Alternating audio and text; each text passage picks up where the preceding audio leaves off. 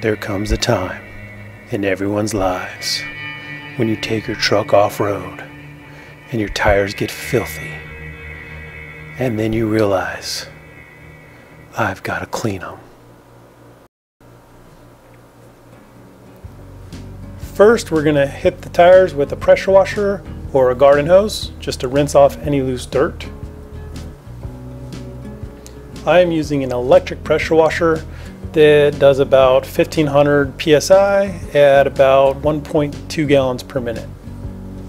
One thing you'll notice is how easily the dirt comes off of my tires using this cleaning process that I am about to show you. So that's one huge benefit of doing it this way. Next, we're gonna hit it with a foam cannon and then we're gonna scrub it with a tire brush.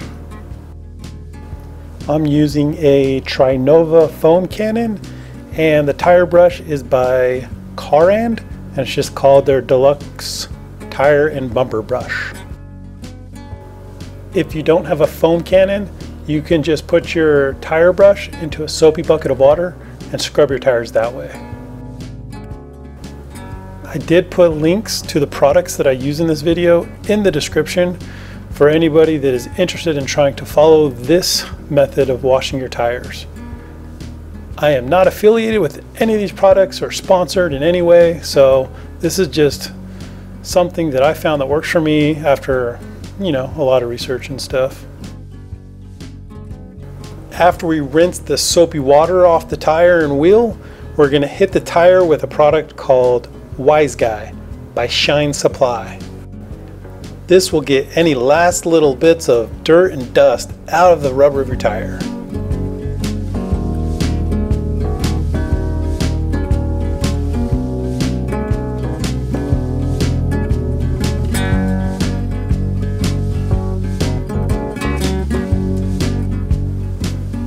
Now that we're all finished up cleaning up the tires, we're going to need to pay attention to those wheels. Once again, we're going to be using the foam cannon. I'll be cleaning in between the spokes and the barrel of the wheel with the Microfiber Madness Incredibrush. Brush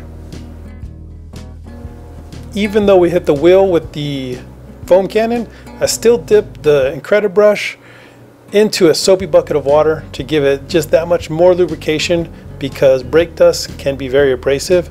So it's very important to use a lot of soap when you're doing this to help protect the wheel. Now that everything is super clean, we're going to want to protect the tire. But first we want to make sure everything is nice and dry. So you can let it sit overnight or you can do what I did. I just used a leaf blower and aired everything off until it was nice and dry. You can really apply this stuff however you want. I kind of like using a brush for the knobby parts of the tire to make sure I get in every little nook and cranny. And then on the kind of flatter part of the sidewall, I just spray it on and then I use a microfiber towel and I kind of just rub it in and then I buff it off. This is the last product that we'll be using on the tires and it is by CarPro and it's called Perl.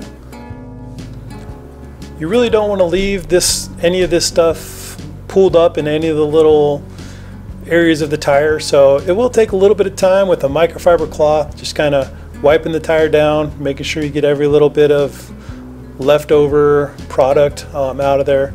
And it is safe on powder coated wheels and stuff, so I tend to wipe it down with that stuff as well, and it does a really good job for me.